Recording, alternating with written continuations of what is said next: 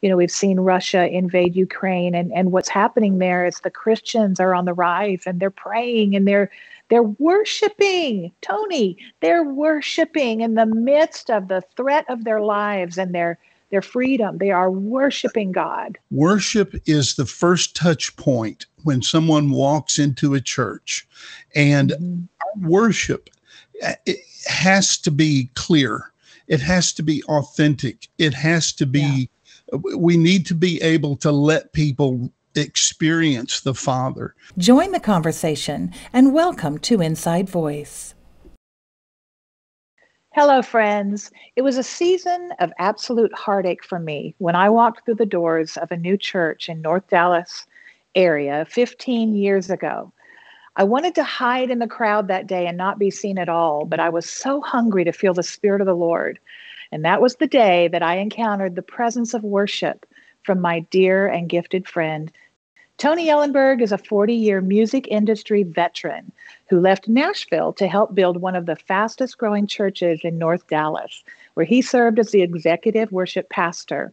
As a songwriter and recording artist, Tony and his songs have been heard on national Christian radio with 10 top 20 hits. Thanks to his and Steven Curtis Chapman's hit song, Waiting for Lightning, the album reached gold status Tony is an author of a brand new book, which we're going to talk about today A Worship Shepherd. And Tony, I want to welcome you, my dear, dear friend. I sure appreciate you being on the show with me today. Oh, thank you, Brenda. That's so encouraging. And that introduction, I do remember when you came to be a part of our worship ministry. It wasn't, we don't minister from a play from a pedestal mm-hmm. of perfection. And it was your authenticity and mm. your and your brokenness that you ministered out of, mm. which we found very refreshing. It made mm. it, it made for a wonderful a wonderful vessel. Wow. Well, thank you. And you know, I I have to say that that was a time of healing for me. That was in the midst of really my cocoon season and how you ministered such sensitivity and grace and love uh, in in such an encouraging way to me was so refreshing, and uh, you know I was able to heal and that place was really a safe harbor for me. And and that's the reason I wanted to have this conversation with you today because I respect so much your level of giftedness and your talent. I mean, let's talk a little bit first about even some of the for our audience today, some of the um, uh, the projects that you even have worked on in Nashville. I mean, to understand the level of quality of work that's come from you over the years, both in the secular industry as well as with uh, Christian music. Um, tell us a little bit of some of the artists you've worked with, and and uh, then how God has moved you uh, in into this season. You know, uh, I'm a graduate of Belmont University, and uh, you can't help but be connected to very good quality people when you're that well networked. Uh, but you know, I Dann Huff, who is a producer for Keith Urban and tons of other artists, um, Restless Heart was a lot of guys that uh, that I went to school with. Uh, these are names from the 80s and 90s. Probably people might not recognize. Uh, I worked. Uh, I wrote a little bit for Dolly Parton's publishing company uh, during uh, her nine to five years. not much, but they were encouraging to me. And um, and then I I was a Christian and I was a songwriter, but I wasn't writing Christian music. I met uh, Greg Nelson, who was a wonderful mentor for me and many others, who was producing anyone who was who was doing well back in those days. But he began to take me under his wing and and help me. And uh, that's where Steven wow. Curtis Chapman and I began to have a relationship. And and many other artists there that uh, but that gives you an idea of the taste of what I was involved with Oh, it's wonderful. And so God transitioned, uh, uh, really kind of put on your heart the desire to want to be involved in shepherding um, in, in, the area of worship. And tell me what that looked like. What, what, what did that transition look like for you? Well, you know, um, it's curious when God really comes to decides to move you and knows that there's a new gear that I have for you, a new plan, a new a new place. It gets a little uncomfortable sometimes at point A to get to that point B. And uh, I, I, did. I got. I the Lord began to stir in me some things that were unfulfilled, and mm-hmm. I began to. I began to uh, recognize that there was something God that He wanted to to invest in me to other people.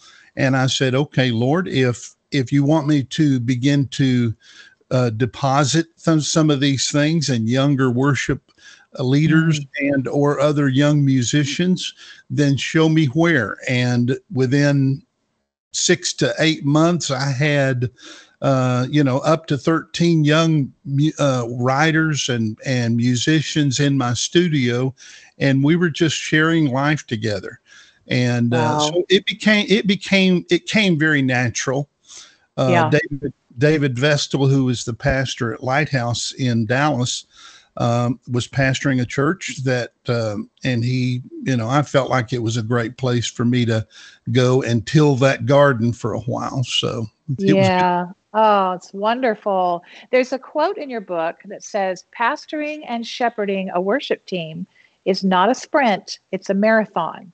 So, uh, tell us what you mean by that. Well, you know, so much of shepherding, it, it's not about, um, it's not about what you, uh, it, it's not about your big ideas. It's more about life and mm-hmm. doing life with people. You know, sometimes, sometimes the investment you make in someone is music and learning mm-hmm. to learning to have a good posture in front of a congregation. What what should the posture of our heart be? But sometimes it's coming alongside uh, someone totally unmusic related. Uh, mm-hmm. they're going through a very difficult struggle in their life uh, going through one of life's chaotic moments uh, uh, a death, a marriage. You celebrate when they celebrate, and you mourn with them when they mourn. Yeah. Those kinds of investments give, uh, especially creatives, it gives them mm-hmm. a safe place where they mm-hmm. can learn to have a context for the gift mm-hmm. that God has given them.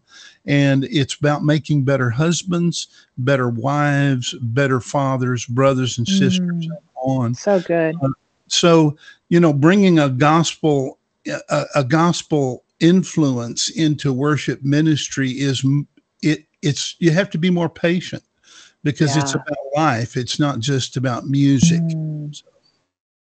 so. you're walking people through their valleys and their their triumphs and the, just the life experiences. I think you know in our culture, uh, sadly, a large portion of the church has been affected by the narcissism that that we've just grown so familiar with in our culture you know with a very celebrity mentality. And so we've really kind of moved away from and and perhaps even lost our way a little bit from the early model or the model of the early church where community was really such a um, an important emphasis and part of our growth. And I mean, I, I think perhaps that might be um, ha- has caused a little bit of trouble within the church culture, and we're really.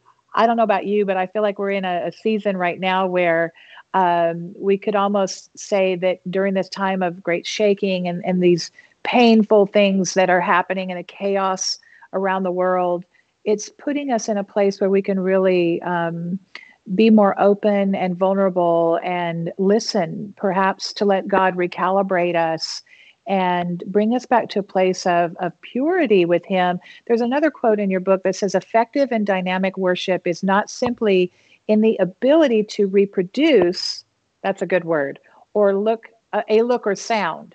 It's the result of a disciplined pursuit of an authentic expression of worship. So help us understand, Tony, because I think some of our viewers today might not even understand what that means or the difference because they've been so used to being fed the product of worship music. Um, and so their experience with worship has more to do with the smoke and the lights and the experience and the feelings and all that. But take us to a deeper place right now and talk about what worship really is and how we really could use a refreshing in in the sense of what we're doing in our local churches and the expression what that should look like for each and every church Brenda, I, I love your wording. And first of all, that is very perceptive. That's a good picture of mm-hmm. where we are right now. And your word that you used, how do we recalibrate? Uh, mm-hmm. And in one in one word, it is the gospel. You know, when we think about the gospel, we usually don't consider that it does speak to. Uh, it, it provides a template for not just our worship songs, but mm-hmm. also the way we do worship ministry. And yeah. Uh, you know, when we put those glasses on, we put the glasses of the gospel. That's a filter and as a you know we love worship leaders. We love talent you know they're such they're such gifted people. They There's, are they are such a crossroads of giftings that are taking place sim- simultaneously.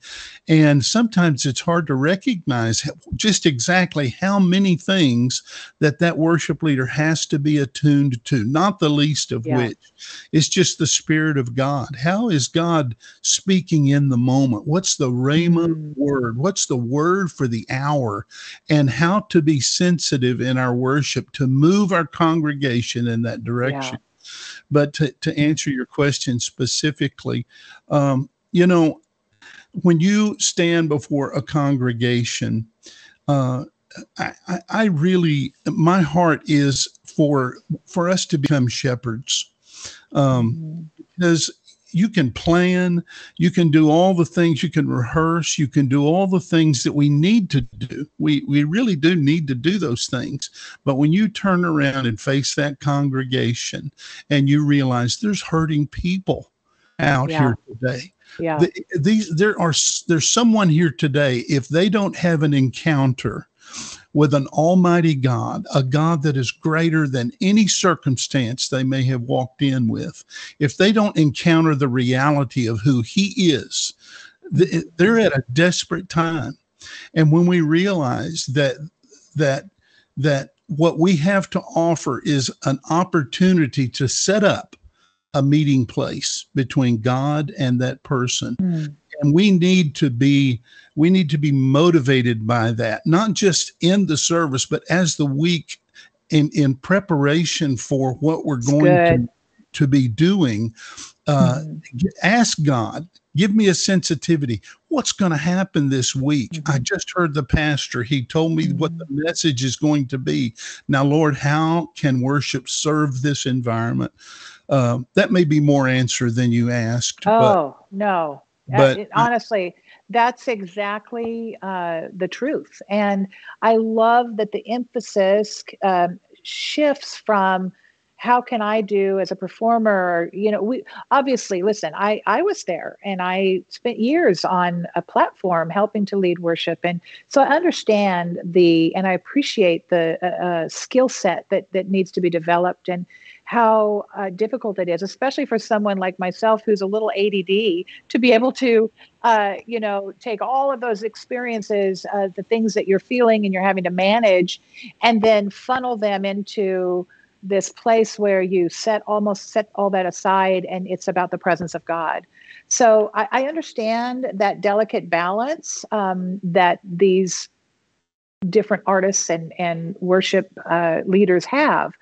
But um, I, I want to take this to another level of truth um, because of my own experience, Tony.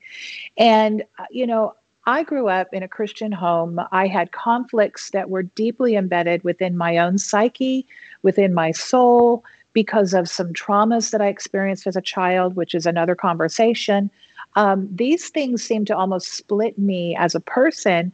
And so I had um, a lot of difficulty, and yet I was so hungry for the presence of God. but I placed a lot of for for a major part of my life, and I very um, sincerely did this. I placed my identity and my self worth in my performance, my ability to do the things that God had gifted me to do, and so I felt like you know I bring nothing to the table unless I'm the best at this. And so music was one of those things. And I felt like uh, there was a time in my life I thought, man, I, I can't imagine living without music. I'd rather be dead. And, you know, God's brought me a long way, Tony, because music has sat on the back burner for a while now. And that's that might be another conversation to have with you privately because I think that maybe we need to stir that back up again. But I'm grateful for that season where God walked me through something where I had to set it down.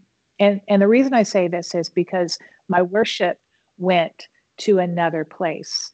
And in the sense that when I had to crash into my humanity, when I had to come to the end of my rope, so to speak, with Brenda, with my performances, with my abilities, with uh, my doings, and say, God, I'm a helpless, hopeless human being who needs you. And to realize that it was on that horizon that Jesus met me. He became the hope on my horizon and he showed me who I was. There's a scripture that I absolutely love and I quote it all the time and it's it's from Second Corinthians in the 3rd chapter and it talks about how that we stand before the mirror of his glory. And that's where we are we come to him with our face unveiled. And so that speaks to me to the uh, issues of projecting an image you know the the masks that we wear the performance we like to others to see and not really come i don't want to invite them into my vulnerability or into the place that i don't even like myself right? And so in this place we have to come first to god in that place where you know the place that i don't even want to go visit myself. It's much too painful but we allow god to his presence to come in and in, it's in the glory of God, that we're able to see the mirror of who we truly are. And we see ourselves as loved, as accepted, as enough for Him to count us valuable enough to die for us, but that He is the one who completes us and He's my healer. And so in that, I find Brenda, I find out who I am. And so it was from there that God took me to a much deeper place. So I wonder have you experienced this or perceived this in the issue of identity and how that that affects us even as worship leaders? Because it's impossible i think.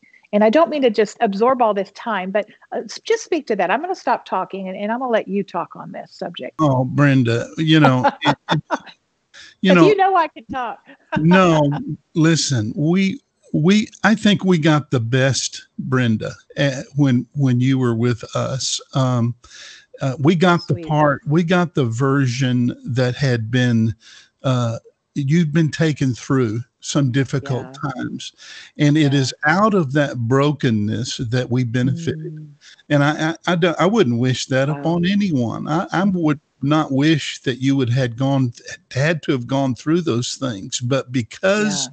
your heart was pliable because you were open to God for him to do that work we benefited not just just the beauty that your voice is so powerful and so beautiful but we got more. We got we got depth. You know uh, as a leader of worship ministry um, uh, it, you've got two responsibilities. You've got a responsibility certainly to the congregation because you're shepherding them. Uh, right. Uh, you also uh, you're you're working with a team of of creative people, and and you want to mm-hmm. pastor them. And so, mm-hmm. yes, the the issue of performance it it fights against the the to yeah. worship, you know, and and it that's part of that deal where it just mm-hmm. takes time to help yeah. someone learn to recognize what is coming out mm-hmm. of our need to perform and yeah. what of my identity is caught up in this now listen mm-hmm. worship music by the way there's an element of performance even in worship that's why it's mm-hmm. so hard to separate uh, yeah. uh, because it by its nature that's the way god created music it's Mhm. very it's very uh, uh entertaining to sit and listen and Mhm. that's why we as creatives of work i mean those of us who lead worship we are uh uh, we're we're we need to take that journey to be able to Mhm. help us to to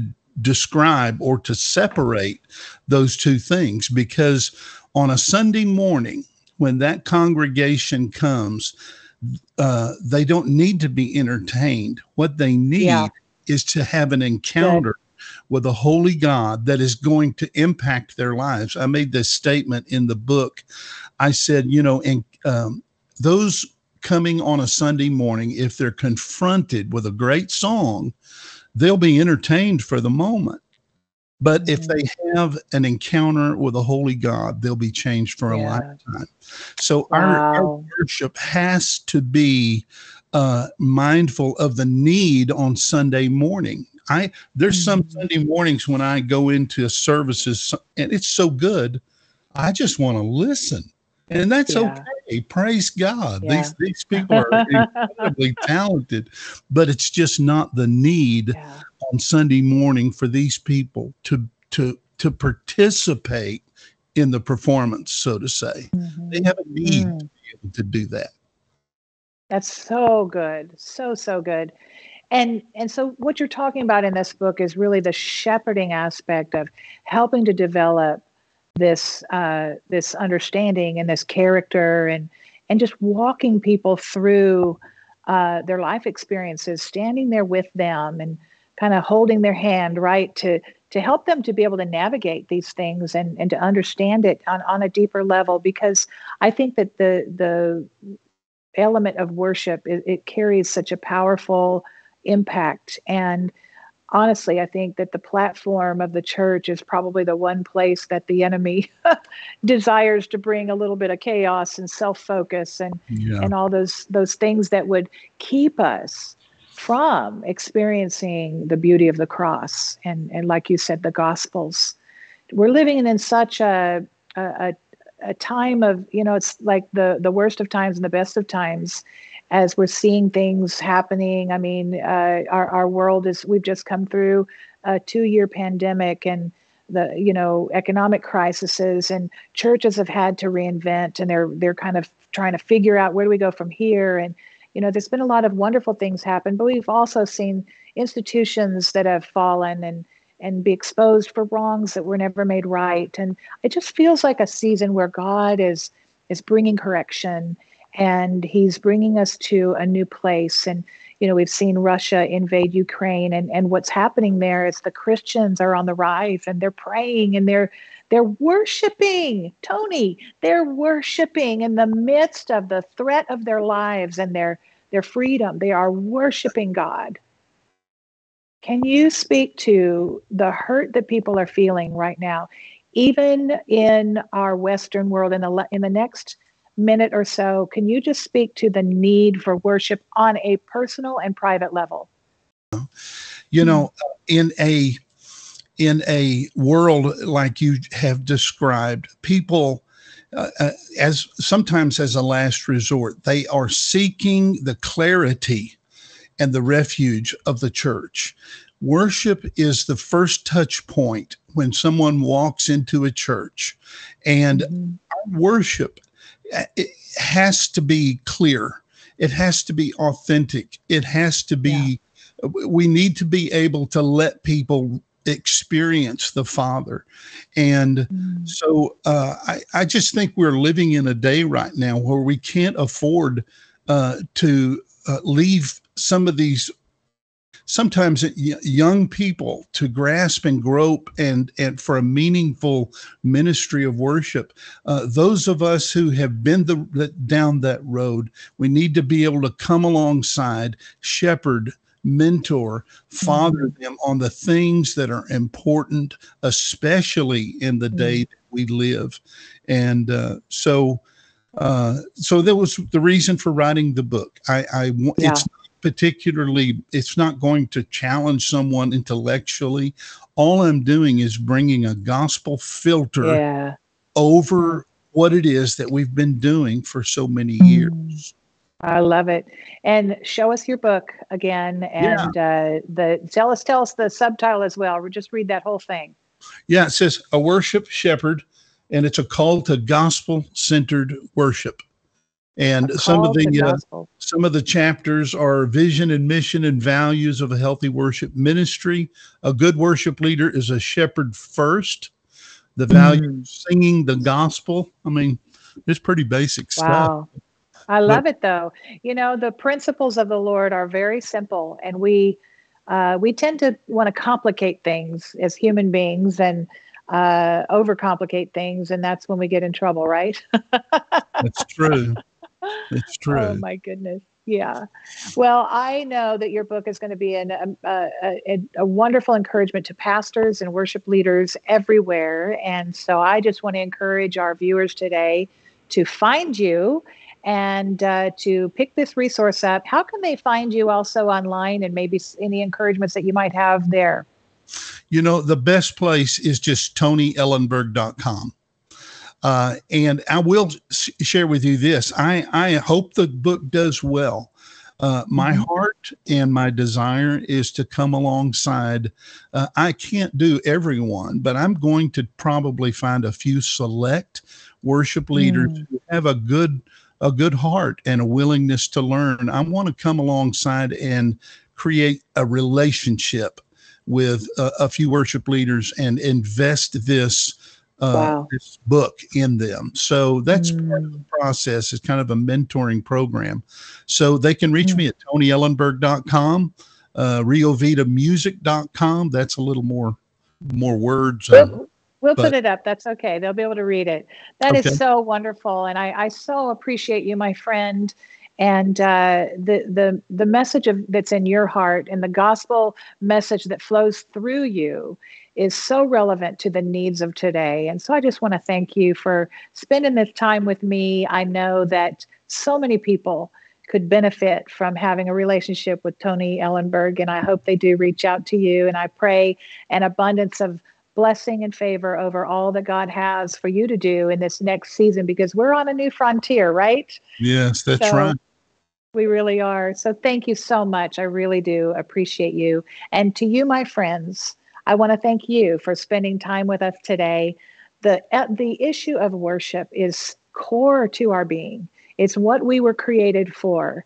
And so I hope that you would maybe even play this message back again and let it encourage you to go and find in your private sanctuary or in the communal worship of your church or with your friends or with your spouse or your family to worship Jesus because right now we need him more than ever. And so I thank you for joining me today and with my guest, Tony Elenburg. And I'm going to invite you again next time to sit with us for another conversation. I'm Brenda Crouch.